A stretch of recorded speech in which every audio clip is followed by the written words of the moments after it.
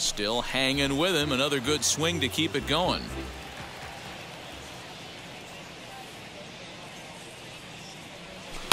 Here's a ball hit high down the right field line. This ball has a chance, and it is gone.